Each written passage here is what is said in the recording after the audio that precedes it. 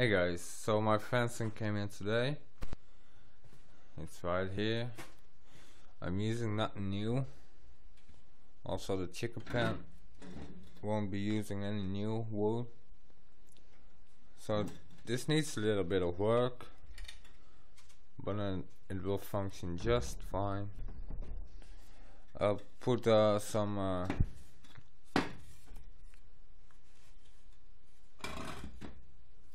gauze wire between it, well behind it. The so the animals won't get into my crop garden. Well, that counts for most animals. Don't be fooled though. Chickens will just jump right over. But I'm not too worried about the chickens. I'm more worried about rabbits and stuff. So yeah, this this is for keeping in the rabbits where they uh, from well from going into my garden. So yeah, I'll need to uh, sand them a little bit, put a little bit of uh, what you call it blank paint I don't know on it so they won't rot. And then they're good to go. I'm gonna put that in my garden. Well in front of my garden.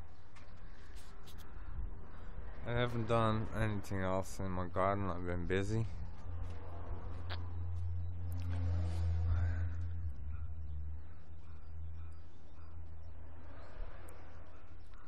On a different note my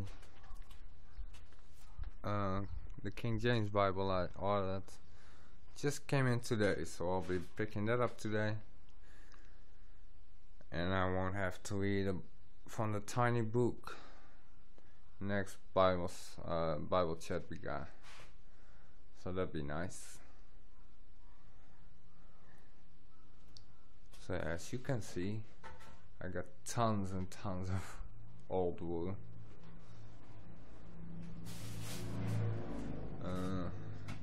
got here these bamboo poles. I'll be using those for my climbing beams uh, I think I'm gonna put those beginning well beginning next week about Monday or Tuesday. I'll be putting those in the garden. I got some plastic foilers on it. I'll get rid of that. So yeah I'll put them up straight in the garden, uh, plant the beans with it and the beans will climb on the stick. They they tend to, uh, climbing beans tend to grow really fast. So it will look pretty. as you can see, it's a beautiful day again. It's a pretty blue sky.